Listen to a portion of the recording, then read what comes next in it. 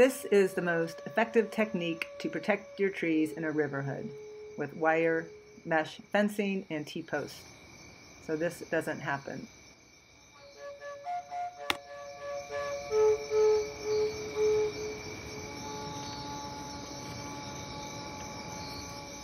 You want to make a cylinder fence around your tree and leaving enough room for it to grow and also not look so ugly.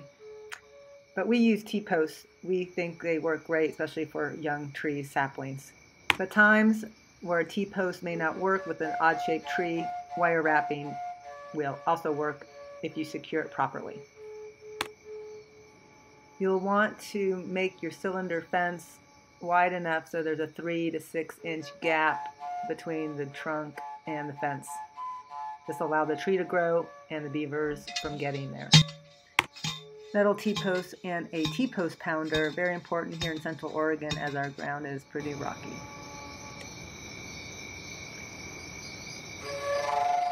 Next step will be to roll out your cage, wire cage fence mesh. You'll cut every other prong and we'll use those to attach end to end.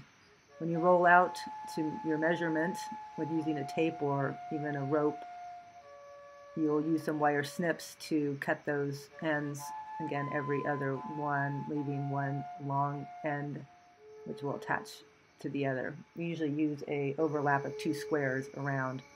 This tree is in an odd shape and the ground's a little uneven, so it's a good example of how this material actually is pretty adaptable.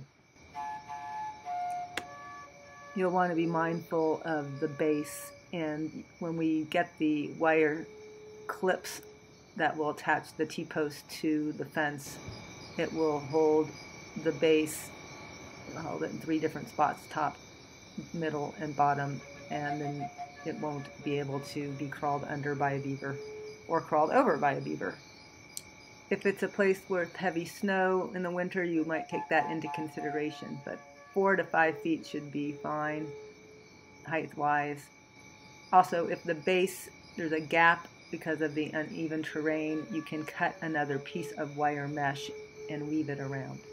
Now the most important thing is using the 10 inch or so wire clips that you'll make to secure the fence to the T-posts at the top, the middle, and the bottom.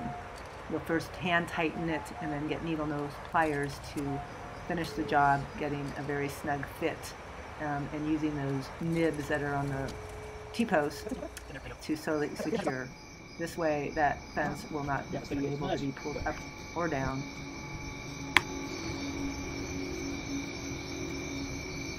Ah, I got it. There it is. That's nice. And to make those wire clips maybe three to a post about 10 to 12 inches long. You can buy some heavy gauge wire, or you can even just cut pieces of the fence itself into um, sections and use them.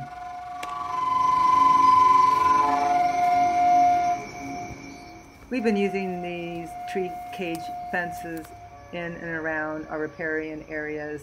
We call it fooder fence, and they coexistence strategy. So you can protect your tree. There'll be some food for the beavers. It all works out.